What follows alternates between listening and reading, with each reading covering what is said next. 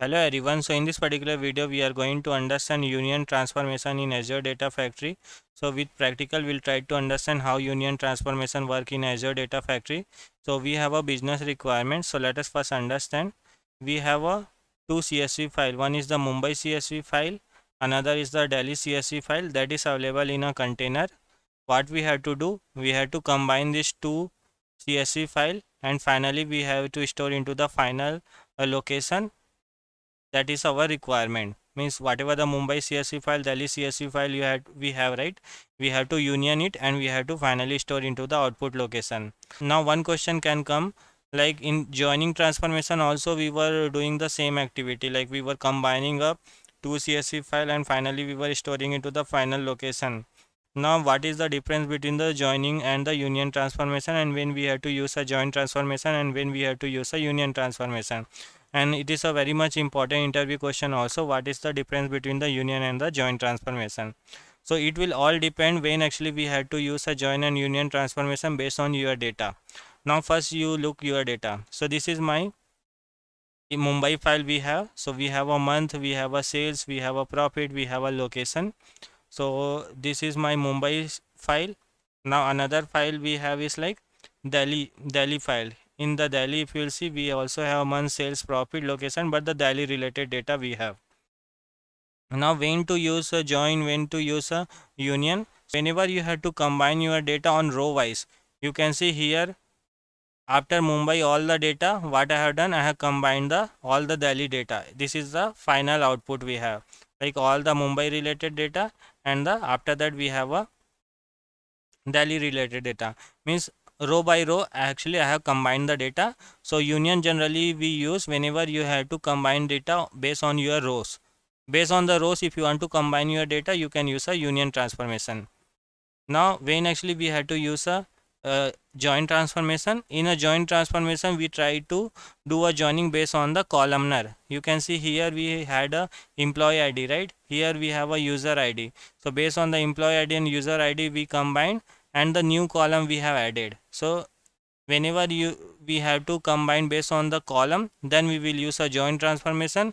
Whenever you have to combine row wise then you can use a union transformation. Now there are some criteria which you should remember when to use a union transformation.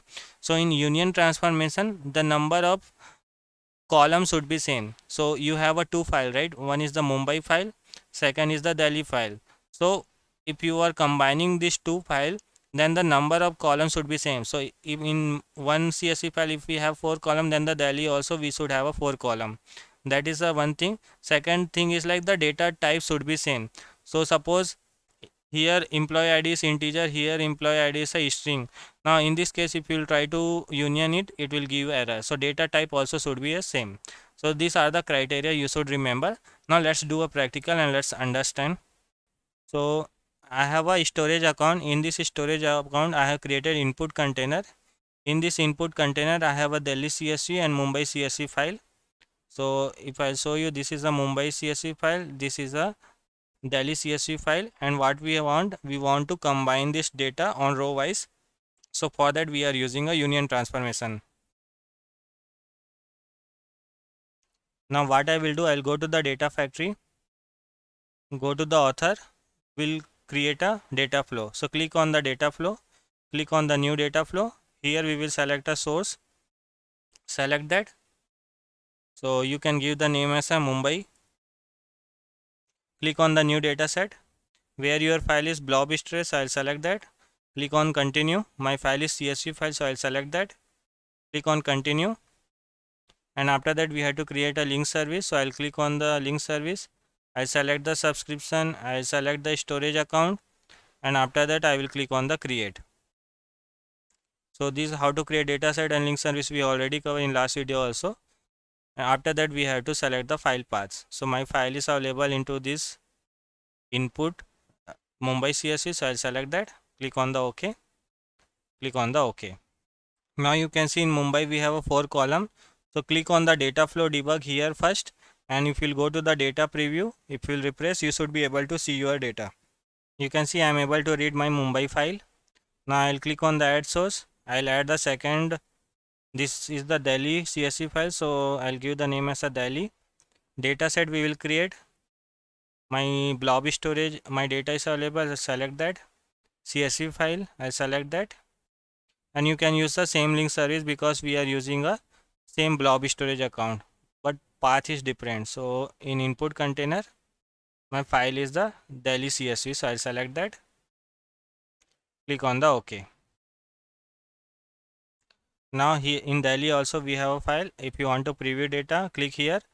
Refresh. You should be able to see your data. Now Delhi file I am able to read. Now what we will do we will perform a union transformation. So select here plus select a union now what is the incoming? It is asking like incoming is the Mumbai and union with the Delhi. So these two source you want to combine right? So incoming stream and the union with you have to select the two source.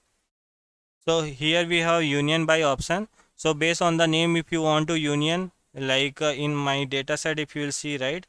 We have a month sales profit and location based on the name. If you want to union you can select that. So we are going with that after that go to the data preview. Click on the refresh.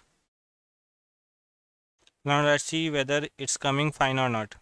Now you can see it is union based on the name and you should be able to see Mumbai and the Delhi file both. What we will do we'll add a sink in the sink we will create a data set. We want to store into the blob storage as a csv file link service we can use the same link service. And the file path you have to select so i'll give the file path as output. Click on the ok okay. So this is our union transformation pipeline is ready. What i will do i will go to the pipeline i will create a new pipeline new pipeline. And the data flow 2 I will try to drag here. Click on the publish all.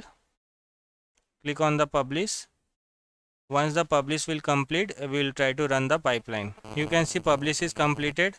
What I will do click on the add trigger click on the trigger now.